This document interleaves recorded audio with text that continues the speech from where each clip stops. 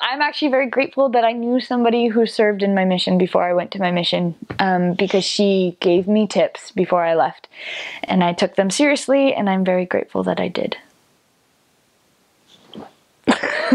Probably the biggest tip that I have for the Quito mission, be it Quito South or Quito North, like regardless, um, I would say get a very good umbrella and bring it like from here. Um, they have umbrellas down there, but you'll probably go through many if you buy them down there. Um, all my companions who bought their umbrellas in Ecuador probably, I mean, even within a two transfer time together, I had at least two companions that had to buy two or three umbrellas during that time.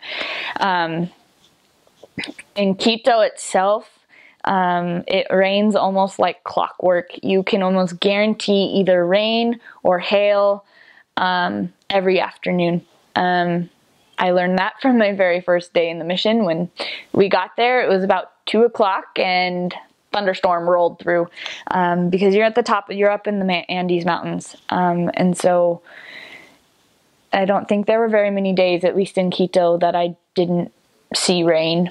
Um, and so that would be my number one thing would be to bring a very good umbrella. Um, and not a huge umbrella, just one of the small ones. Um, a good idea also I didn't have very many and I wish I would have had more. Thankfully I had companions who had many. But cardigans are also really good. Um, cardigans are really are really really good because um, in Ecuador, at least I served in the mountains my whole time and um, on average during the day, it was probably in the 60s, upper 50s, 60s, lower 70s um, year round. And that was during the day. And obviously, you're out and you're out for the entire day.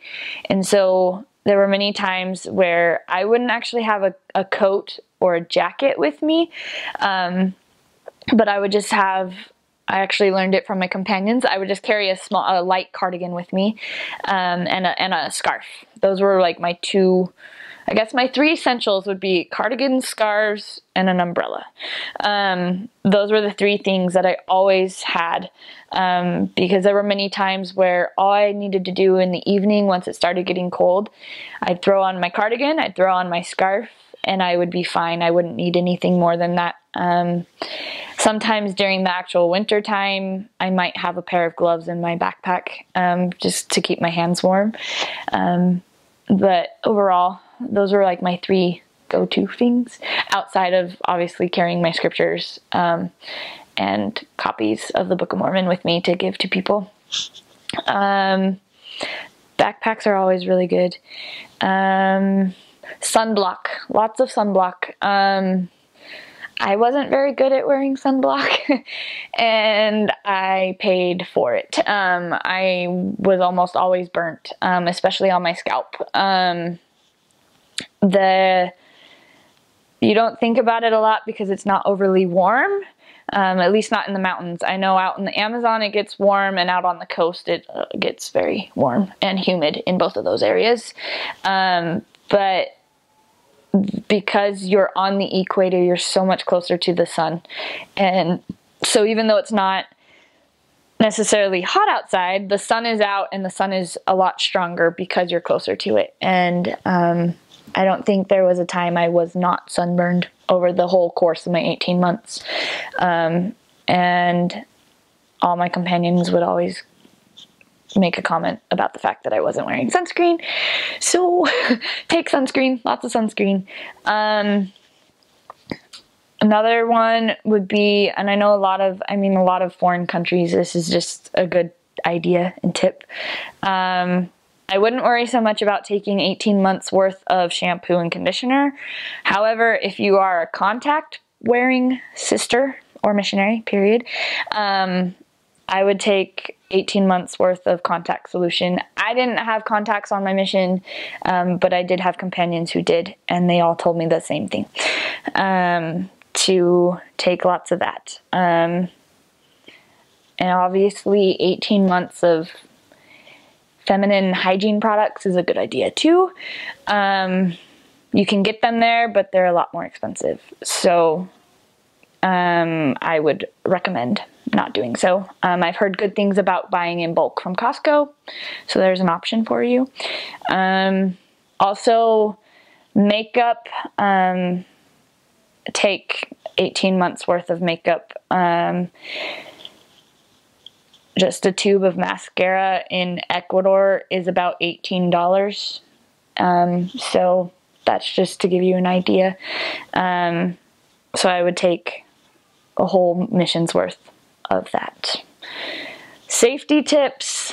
Um, first and foremost, follow the guidelines in the missionary handbook. Um, honestly, if you're obedient and you follow those, you're going to be protected because you're being obedient.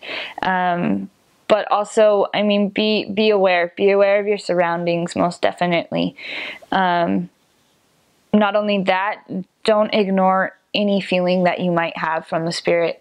Um, I actually have an example of this when my very first area we had met up with a family um, and it was at this time i was only with my trainer so there was just the two of us and we met up with a family we'd given them a lesson and we were leaving and we were going to go one direction um, because it was shorter to get back um, rather than going the other direction which would have added a good 10 15 minutes onto our travel time and so we left in all purpose intention to go this direction and as we came around the corner I kind of had this feeling, but apparently she had the exact same feeling. Um, because both of us come kind of at the exact same time we kind of glanced at each other and it was a at, we shouldn't go this direction um, and we and instead of ignoring that we listened to that and we just turned around and we walked the other way so even though it added 20 minutes to our time um, we we knew that it was better to take a longer route than to take a risky route um, and so I those would be my biggest safety tips. Um, if you're on the bus or the metro, um, never put your backpacks on the ground or up above, like in the loft or in the bag holding area. Um, if you're sitting, have it on your lap and have your arms around it. Um, and if you are not not able to sit, which is a very common thing. Usually you have to stand, stand.